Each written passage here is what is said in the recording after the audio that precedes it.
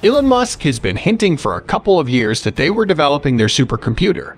At Tesla's AI Day, Tesla announced the arrival of Dojo, its supercomputer designed entirely in-house.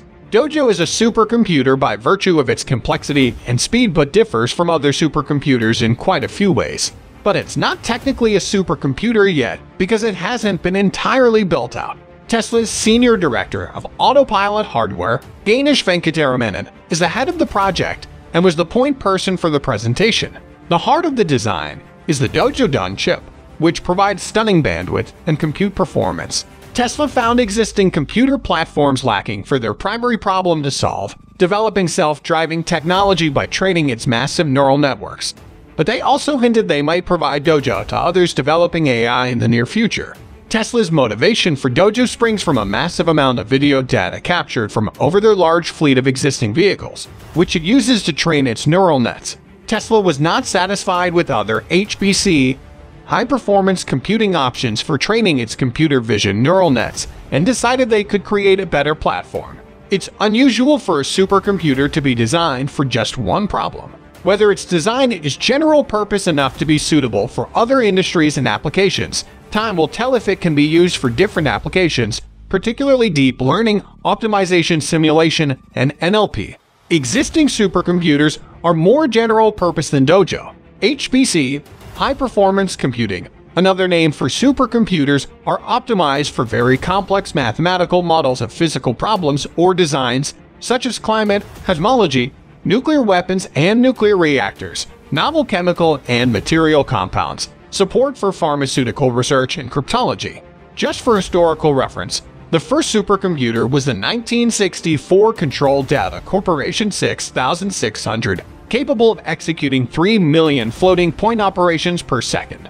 Fast forward to 2020, and the PlayStation 5 has hardware capable of up to 10.28 teraflops, roughly 3 million times faster.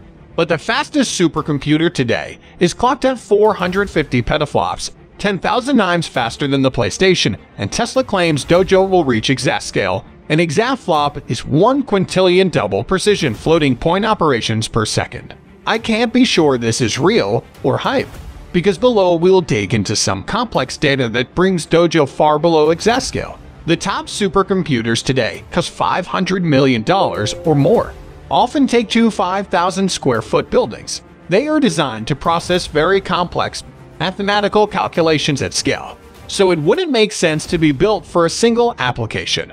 While the top 10 or so are devoted to defense and intelligence applications, at least a third of them on the TOP500 list are dedicated to healthcare, and many support crucial drug-related research. There are two supercomputers that I know of that are used in a private enterprise setting, one in an oil and gas-related study. It is no secret that most of the most powerful ones are used for nuclear weapons research and cybersecurity in the US, EU, Russia, and China, and possibly others. Others have advanced the science in weather and climate in significant ways. Some examples are Cambridge-1 the fastest supercomputer in the UK, was designed and assembled by NVIDIA, and was clocked at 400 petaflops.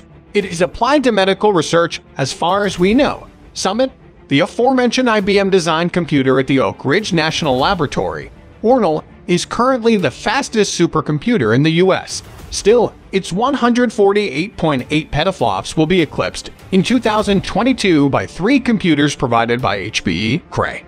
With 4,356 nodes, each with two 22-core Power 9 CPU and six NVIDIA Tesla V100 graphics processing units.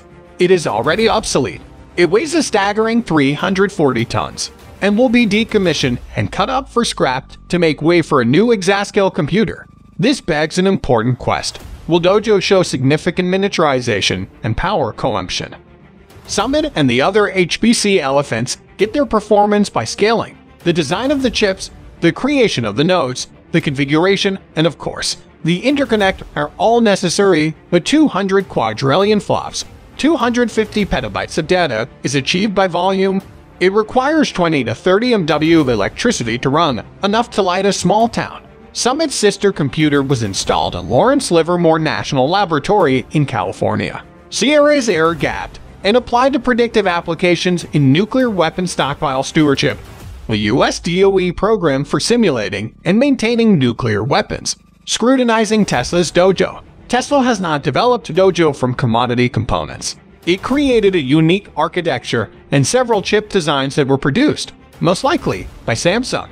For example, instead of using multi-core chips connected to motherboards, they use the entire wafer. Chips are produced on the wafer and cut out separately. Tesla claimed that the number of GPU is more than the top 5 supercomputers in the world, but this is a misstatement. They meant that it has more GPU than the fifth fastest supercomputer in the world. Selene, which has 4,480 NVIDIA 100 GPU. Andrej Karpathy, Senior Director of AI at Tesla, revealed in a presentation that the largest cluster is made up of NVIDIA's new A100 GPU, which would put it in the fifth position in the world, but some are fudging on these figures. An FP32 performance metric measures how many single precision floating point operations per second the machine can produce. Typical measures for supercomputers are FP64, double precision floating point calculations. There was some confusion in the presentation about which metric was used.